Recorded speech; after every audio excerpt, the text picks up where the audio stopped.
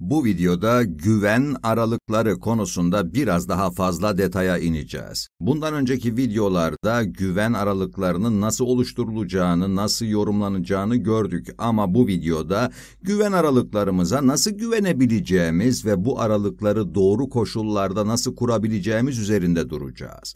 Kısa bir tekrar yapacak olur isek, Güven aralığı hesapladığımızda e, tahmin etmeye çalıştığımız bir popülasyon parametresi vardır. Bu parametrenin popülasyonun belirli adaya oy veren oranı olduğunu düşünelim.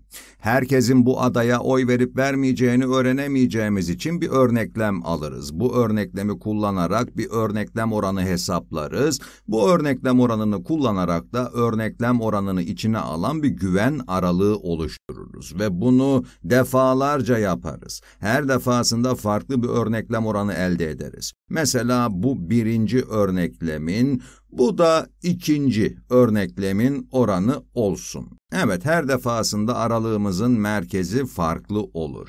Buna ek olarak elde ettiğimiz örneklem oranını kullanacağımız için hata payı da değişir. Güven aralığımıza güvenebilmemiz için sağlamamız gereken koşullardan ilki örneklemin rastgele olmasıdır. Hemen not ediyorum. Rastgele örneklem. Evet, belirli bir adaya oy verecek insanların oranının ne olduğunu tahmin etmeye çalışırken araştırmamıza sadece yaşlı kesimi eklersek bu rastgele bir örneklem olmaz. Benzer bir şekilde sadece kampüste yaşayan öğrencilerin fikrini alırsak da rastgele bir örneklem almış olmayız.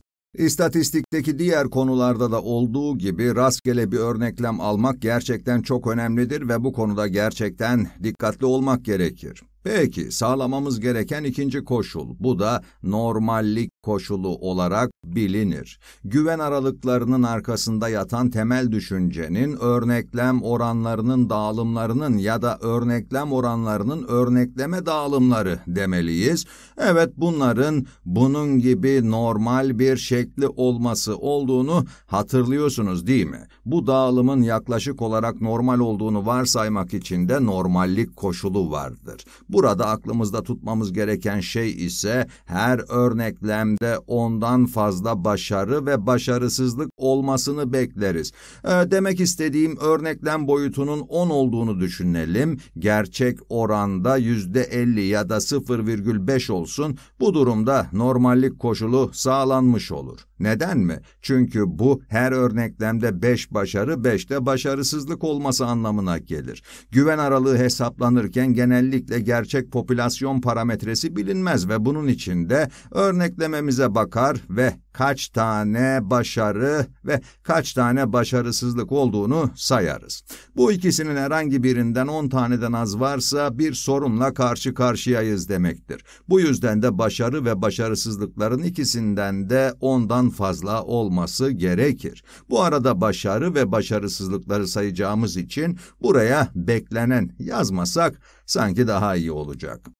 Eğer bu doğru değilse de normallik koşulu sağlanmamış olur ve güven aralıklarımızla ilgili söyleyeceğimiz şeyler geçerli olmazlar. Son koşul ise bağımsızlık koşulu olarak adlandırılır. Bundan yüzde on koşulu olarak bahsedildiğini de duymuş olabilirsiniz. Yerine koymadan örneklem aldığımızda ve yerine koyarak örneklem almak çok kolay bir şey de değildir. Örneğin bir mağazadan çıkan insanları ele alalım. Araştırmayı uyguladıktan sonra bu insanlara haydi şimdi yeniden mağazaya geri dönün diyemeyiz öyle değil mi?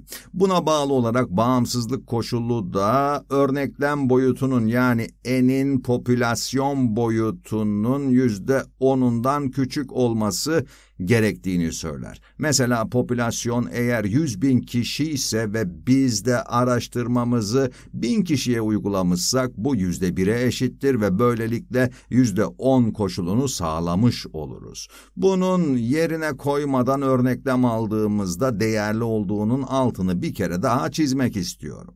Bu koşullardan herhangi biri sağlanmadığında güven aralıklarımızın görevlerini yerine getirmeyeceklerini daha iyi anlayabilmek için bu iki koşul üzerinde duracağım. Rastgele örneklem koşulu neredeyse istatistiğin tamamı için çok ama çok önemli bir koşuldur ama şimdilik bu ikisine odaklanalım ve öncelikle bağımsızlık koşulu sağlanmadığında neler olacağını görelim. Sakız makinesi örneğimize geri dönüyoruz. Gerçek bir popülasyon oranımız vardı ama örneklem alan kişinin bunu bilmesi şart değil. %95'lik bir güven aralığı kurmak istiyoruz. Yerine koymadığımızı da hatırlatayım. Başka bir deyişle örneklememizin her üyesine bakıp yeniden makinenin içine koymuyoruz. Anlaştık mı? Boyutu 200 olan bir örneklem kuralım. Evet böylelikle %10'un çok üzerinde bir değer elde etmiş oluyoruz. Örneklem almaya başlayıp da mesela buradaki 1500 örneklem aldığımız durumda gerçek popülasyon parametresinin örneklem oranını kullanarak hesapladığımız aradığımız güven aralığında olması, siyahlar olmaması da kırmızı olanlarla gösteriliyor ve gördüğünüz gibi bunun aralıkta olması %95'in altında. Evet, gerçek popülasyon parametresiyle kurduğumuz güven aralığı buradaki durumların sadece %93'ünde kesişiyor. Örneklem sayısının son derece yüksek olduğuna da dikkatinizi çekmek istiyorum. Bu güven aralığı eğer gerçekten %95'lik bir güven aralığı olsaydı bunun %95 olması gerekirdi. Benzer şekilde normallik koşulunun sağlanmadığı bir duruma da bakabiliriz. Normal koşulu için örneklem boyutunun 15 olduğunu düşünelim. Ekranı biraz aşağı kaydırırsam simülasyonun endişe verici tarafını daha iyi göreceksiniz. Beklenen başarı sayısı 10'dan az. Ve gördüğünüz gibi burada da fazlaca örneklem aldık. Evet 2000'den fazla örneklem aldık. Bu güven aralıklarını oluşturmaya devam ettikçe beklediğim oran %95 iken bu şekilde sadece %94'lük bir oran elde edebiliyorum. Çok fazla örneklem almış olmama rağmen. Örneklemlerin rastgele olmaması sonuçları çarpıtır ama örneklem oranlarının örnekleme dağılımlarının normal olmamaları ya da yerine koymadan örneklem aldığımız bir durumda örneklem boyutunun popülasyon boyutuna oranının büyük olması e, başka bir deyişle bağımsızlık koşulunu ihmal etmiş olmamız güven aralıklarını kurarak elde etmek istediğimiz güven seviyesi geçerli olmayabilir.